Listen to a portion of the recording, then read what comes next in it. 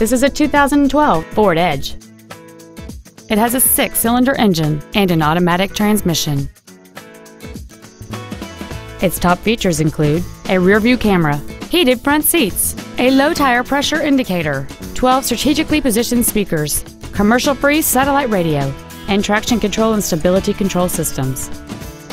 The following features are also included big 18 inch wheels, a seat with memory presets, cruise control, leather seats, a rear spoiler, a security system, privacy glass, an anti lock braking system, air conditioning with automatic climate control, and this vehicle has fewer than 21,000 miles on the odometer. Contact us today to arrange your test drive.